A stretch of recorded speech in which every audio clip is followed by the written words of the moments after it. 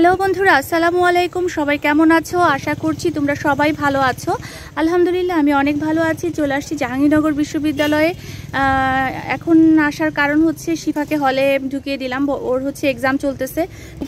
এখানে জাহাঙ্গীরনগর বিশ্ববিদ্যালয়ের একটা লেকের সামনে অনেকগুলো পদ্ম ফুল আছে। যে পদ্ম ফুলগুলো তোমাদেরকে একটু দেখাবো।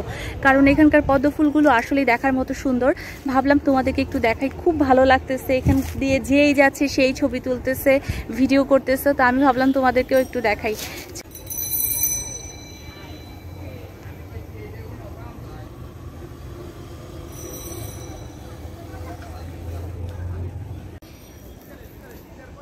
দেখো কি সুন্দর পদ্ম ফুল ফুটেছে।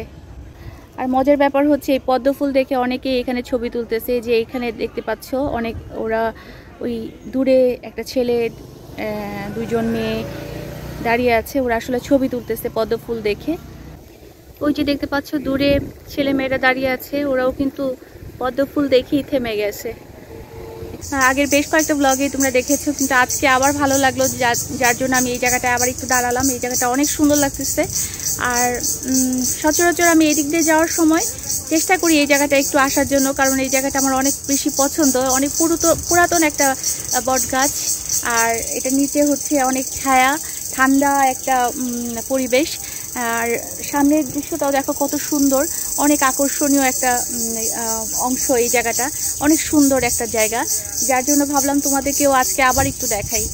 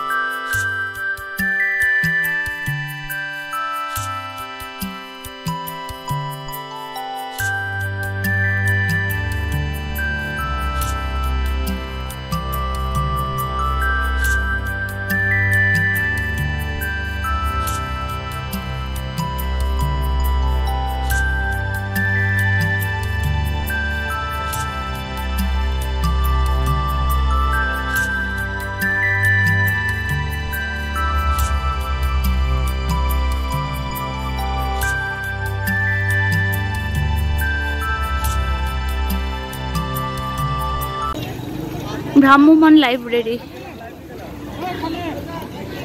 ভ্রাম্যমান লাইব্রেরিটা তোমাদেরকে একটু দেখাই। এই দেখো, এখানে গাড়িতে করে বই দেয় ছেলে মেয়েদের। যেগুলো হচ্ছে অনেক ধরনের বই আছে এখানে ভ্রাম্যমান লাইব্রেরিতে। এখানে গাড়িতে করেই দেয় আর হচ্ছে স্টুডেন্ট এখান থেকে নিয়ে যায় রেজিস্ট্রেশন করে আবার দিয়ে যায় ফেরত। একদম নিচের দিকে হয়েছে কাঁঠালগুলো। কত কাঁঠাল দেখো। গাছ ভর্তি কাঁঠাল, উপরের দিকে অনেক আছে।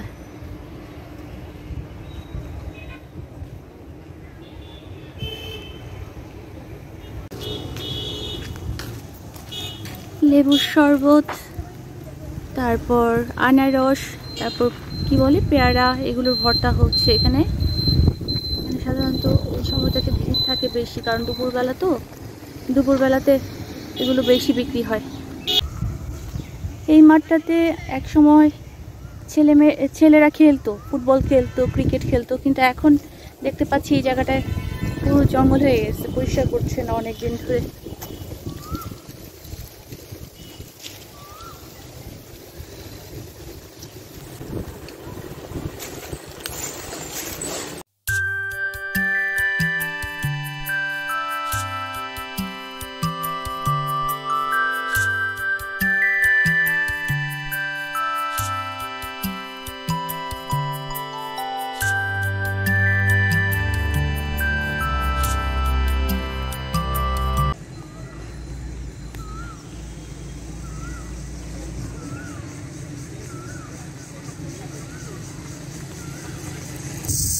এখানে যেহেতু অনেক গাছ, সেজন্য পাখিও বেশি আর সাউন্ডও অনেক বেশি। বিভিন্ন পাখি বিভিন্ন রকমের সাউন্ড যাই হোক, এখন বাসায় চলে যাব। বাসায় যেয়ে অন্য অন্য কাজ করতে হবে।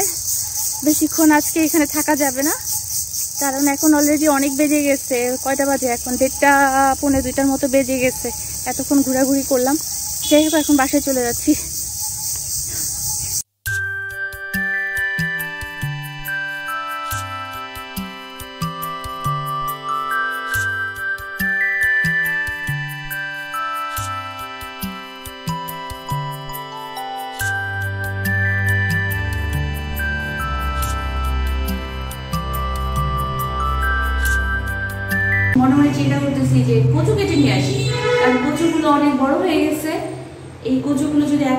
কাটি তাহলে আর খাওয়া যাবে না। তোমাদের তো আগের একটা ব্লগে দেখিয়েছিলাম, অনেক বড় বড় হয়ে গেছে। তো যেহেতু এখন একটু সময় আছে, কচুটা কেটে নিয়ে আসি, চলো।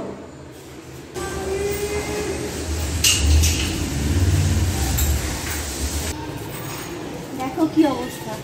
কত বড় বড় কচু হয়ে গেছে। একদম মানুষ ছুঁই ছুঁই। এত লম্বা হয়েছে কচুগুলো। এখানকার কচু কখনই আমরা এত বড় হইতে দিই না, আগে কেটে ফেলি সব সমস্যা হচ্ছে শিফার, কারণ শিফার পরীক্ষা হওয়াতে কোনো কিছু করতে পারতেছিলাম না ব্যস্ত ব্যস্ত ব্যস্ত। সারাদিন আমরা ব্যস্ত। ওর ও পরীক্ষা দেয় আর আমরা ব্যস্ত। এখন এই কথা বললে আবার ও আবার অনেক খেপে যায়। ও বলে কি যে আমার পরীক্ষা তো তোমাদের কি হয়েছে ঝগড়া করে আমাদের সাথে, বুঝছ? কিন্তু আসলে কি বাসার একটা স্টুডেন্ট যদি ফাইনাল এক্সাম থাকে তখন কিন্তু স্বাভাবিকভাবে সব কিছু কাজ এলোমেলো হয়ে যায়। কারণ ও যে কাজগুলো করতো সেইগুলো সহ আমাদের করতে হয়। বুঝে না, আমি এটা বুঝে না, বুঝছ? দেখো, এই কেলাকুশ শাকগুলো কেলাকুশ পাতাই বলে অনেকে। না, কেলা কেলাকুচু মানে এরকম বিভিন্ন রকমের নাম আছে আর কি, যাই হোক। এই শাকগুলো একটু মেহেদি গাছটাকে একদম জড়িয়ে ধরছে। কিন্তু এই কারণে তো গাছের ক্ষতি হবে। চিন্তা করছি এটাকে খোলাই ফেলব। এই মেহেদি গাছটা খুব উপকারী আমাদের, কারণ আমাদের কথায় কথায় কাজে লাগে কারণ আমি এটা খুলতে তো সময় লাগবে। আগে ওইটা কাটবো, না এটা খুলবো, এটা খুলে কাটো।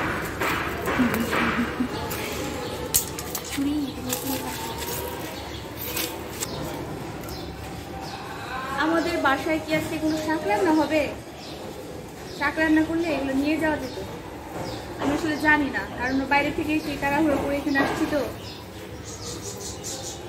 খেয়াল করি নাই কি কি বাজার হাট করেছে আজকে। এটা কাটতেই হবে, কারণ অলরেডি এটা ছিঁড়ে গেছে অনেকটা। নিয়ে যাই, যা হবার হবে। এই শাকগুলো না ডায়াবেটিস রোগীদের জন্য খুব উপকারী। সবাই খেতে পারে, কিন্তু ডায়াবেটিস যারা হয়, তাদের জন্য বেশি কাজে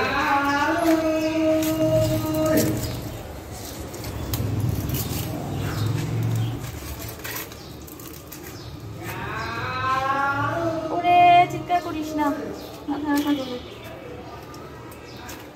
আচ্ছা তোমাদেরকে বলি, এই প্রচুর শাক কিন্তু খাওয়া যায় না। খাওয়া যায় না? গেলে ভিডিও করলে ভালো হতো, তাই না? কথা শোনা যাচ্ছে না ঠিক মতো। ভাই একটু যাবেন।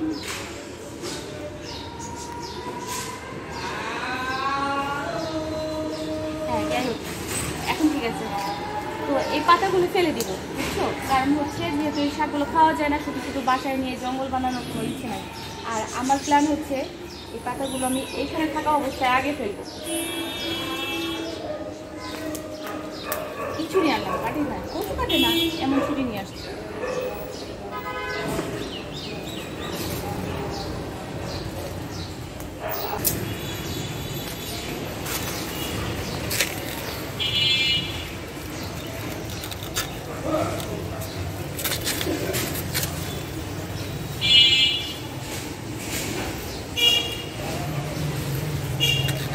এমন ছুরি নিয়ে আসলাম যে ছুরিতে কচু কাটে না। আচ্ছা এইটার এই কচুটার এই অংশটা নিতে চাচ্ছি না, কারণ এখানে আবার একটা হচ্ছে, দেখছ? এই জন্য আমি এখানে এভাবে নিচ্ছি। যাতে ওই ডালটা আবার হয়। এই কচুটা কাটতে হবে কেন জানো? এই কচুটা পড়ে গেছে। আমার মনে হয় যে মাঝখানে কদিন ঝড় হলো না, ওই সময় পড়ে গেছে। এই জন্য আমি এটা পুরোটাই কেটে ফেলব।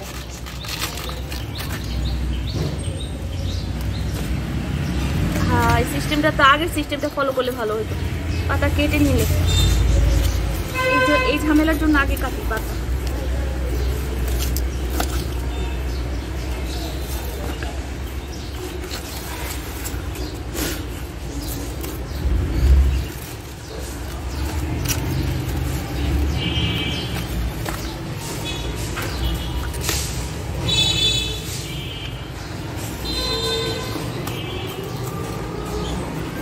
যথেষ্ট আমার মনে হয় না এর থেকে বেশি নিতে হবে কারণ এর থেকে বেশি নিলে আমি বক খাব আরে কিন্তু টাইম নেই আসলে।